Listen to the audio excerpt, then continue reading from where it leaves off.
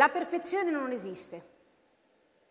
E so che non dico una grande novità, ma io lo voglio dire, lo voglio gridare, lo voglio urlare. La perfezione non esiste! Magari l'avessero detto prima a me, sapete? Bisognerebbe inserirla tra i primi insegnamenti che ci danno. Lavati le mani prima di mangiare, non dire le parolacce e la perfezione non esiste. Sai quanto tempo ho perso a cercarla? È come in amore, no?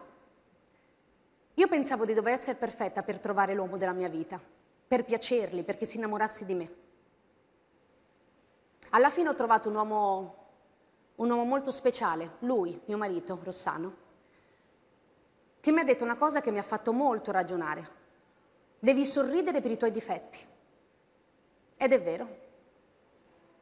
E si è preso il pacchetto intero, pregi e difetti.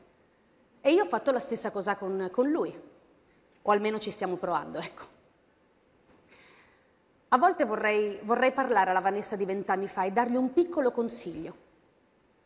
Vane, smetti di voler essere diversa da quello che sei, perché tanto la perfezione non esiste. Io volevo, sapete, diventare ciò che non sono. Un po' più così, un po' più cosà. Tutti mi volevano diversa tutti.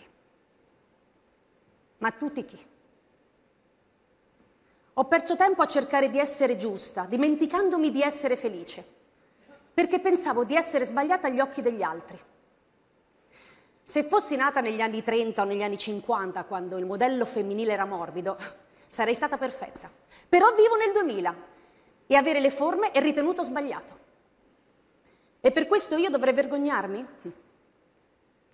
Pensate se fossi nata in Colombia, a questo, a questo punto magari potevo essere la musa di Botero. Anzi, maestro, se mi sta guardando sono qui a sua completa disposizione. Adesso riesco a sorridere, ma non è stato sempre così, perché a volte le critiche feriscono. Partono da un cellulare e arrivano dritte allo stomaco. E quando vai in giro, sai che dietro le facce che incontri per strada, al supermercato o davanti alla scuola, potrebbero nascondersi tutti quelli che pensano che tu sia sbagliata. Ma in realtà quel tutti non esiste. Esistono le persone. Ad alcuni puoi piacere, ad altri no. Ma va bene così perché la perfezione non esiste. Conta solo quello che pensi di te stessa quando ti guardi nello specchio. Beh, io sono molto orgogliosa di quello che vedo. A volte mi piaccio, altre volte no, ma voglio bene la persona che ho di fronte. E penso che è importante circondarsi delle persone che ci vogliono bene per quello che siamo e che ci spingono ad essere noi stessi. Perché tanto nella vita la perfezione non esiste.